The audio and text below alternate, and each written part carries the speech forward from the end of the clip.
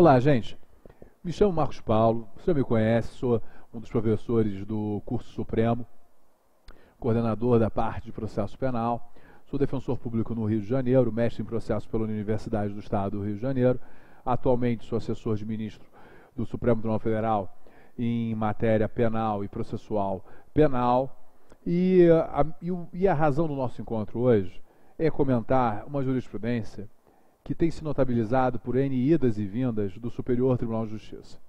E isso guarda relação com as prisões cautelares e com o princípio da homogeneidade dessas prisões cautelares. O princípio da homogeneidade, que também é ventilado como razoabilidade, sob o prisma da proporcionalidade ou simplesmente proporcionalidade. Qual é a ideia central? Evitar que uma tutela cautelar se mostre mais gravosa do que a própria pena final aplicada ao réu. Porque isso realmente seria um desatino. Imagina, uma tutela cautelar mais gravosa do que a própria pena aplicada. Nessa linha de raciocínio, se o réu é condenado a uma pena não privativa de liberdade, descabe pensar em cautelares constitutivos da liberdade. Afinal de contas, ele foi condenado a uma multa, ele foi condenado ao, a cumprir um sursi da pena ou a cumprir uma pena restritiva de direitos. Se a condenação é uma pena privativa de liberdade em regime aberto, a prisão preventiva também descabe. Porque o que é a prisão preventiva? Né? É uma privação libertária em condição equivalente ao regime fechado.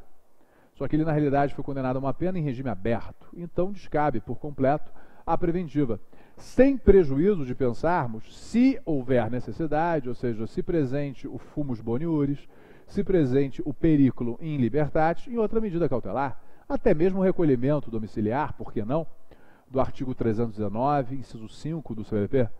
Afinal de contas, o recolhimento domiciliar significa ficar em casa, de casa para o trabalho, do trabalho para casa ficando em casa finais de semana, dias de folga e feriado. Isso é praticamente o regime aberto. Basta comparar os termos do 319, inciso 5 do CPP ao parágrafo 1 do artigo 36 do Código Penal, que versa sobre o regime aberto.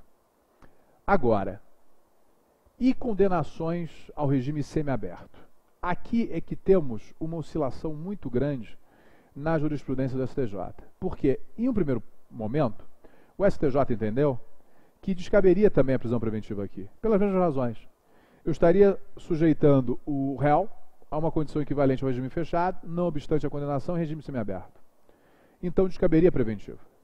Só que depois o STJ passou a entender que não haveria ofensa à razoabilidade, sob o prisma da proporcionalidade, se a prisão preventiva viesse a ser cumprida em condições equivalentes ao regime semiaberto. Porque haveria essa, essa paridade em termos de drasticidade da tutela cautelar versus pena aplicada. O STJ, no início de 2015, voltou atrás. Uma decisão da quinta turma chegou a voltar atrás, entendendo que descaberia, de todo modo, a preventiva. Mas, passados alguns meses, já lançou outras decisões que persistem até hoje, entendendo que não haveria ofensa à razoabilidade sob o prisma da proporcionalidade, termos isso. Uma preventiva sendo mantida, mas com a observância de que será cumprida no regime semiaberto. É essa orientação hoje reinante, é essa orientação que você tem que levar para a tua prova, ainda mais numa fase objetiva. Mas é uma orientação numa fase discursiva para ser, ser criticada para ser criticada, eu diria hoje, especialmente com o concurso, defensoria. Por quê? A prisão preventiva, essencialmente, é a privação libertária em condição equivalente ao regime fechado. O próprio STJ e o pleno do STF, por maioria, votou vencido só o ministro Celso de Mello, entendem que, se o condenado estiver cumprindo pena em regime semiaberto, ele já poderia, de plano, usufruir a saída temporária, versada nos artigos 122, 123, 124 da LEP. Ele não teria que cumprir o lapso temporal de um sexto para fazer jus, por exemplo, ao trabalho externo. Ele está no regime semiaberto e, automaticamente, em razão da primariedade dele, já começaria o trabalho externo. Ou seja, ele na realidade passaria o dia trabalhando, só voltaria para a colônia agrícola industrial para dormir. lá permanecendo na colônia, dias de folga, finais de semana, feriados. Mas ainda com outros benéficos, como até cinco visitas periódicas ao lar, sete dias de duração, 35 dias no total.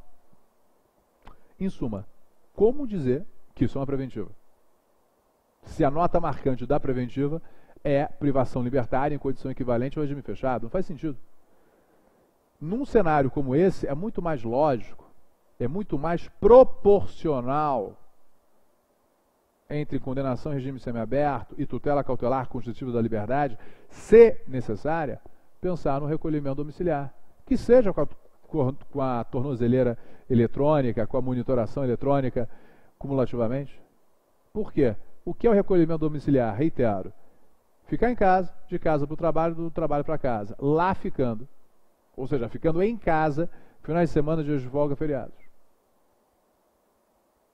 Esse nível de constituição libertária, de privação libertária, é equivalente a um regime semiaberto com uh, visita uh, periódica ao lar, com trabalho externo.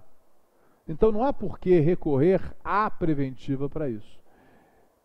Esperamos, sinceramente, que o STJ seja mais técnico, que o STJ se lembre que não há só a preventiva, que o STJ se lembre que existe uma cautelar que vai cumprir essa mesma função, ainda mais nesses moldes, que seria o recolhimento domiciliar, e assim passe a decidir. Por hora, entretanto, numa prova objetiva, você já sabe, tá? Se vier uma alternativa que, eh, assim, abro aspas, não ofende a homogeneidade, a prisão preventiva mantida por força de uma condenação, desde que, por força de uma condenação ao regime semiaberto, desde que cumprida dentro das condições inerentes a esse regime. Isso vai estar ok. Numa prova para a defensoria, não deixe de criticar isso, tá? Porque, de qualquer maneira, é, isso significaria descaracterizar, inclusive, a própria prisão preventiva enquanto uma medida cautelar de privação libertária em condição equivalente ao regime o quê? É, ao regime fechado, ok? Isso é super importante, porque, só para você entender a questão prática, tá? Ainda que o juiz determine isso, ele vai continuar preso preventivamente, ou seja, regime fechado, e vai continuar ali até que sobrevenha uma vaga no regime semiaberto. E aí a defesa vai ter que se vai ter que, que, que se rebolar para pensar num habeas, para demonstrar que não há vaga, para a partir daí tentar uma mudança para a modalidade domiciliar. Para que isso?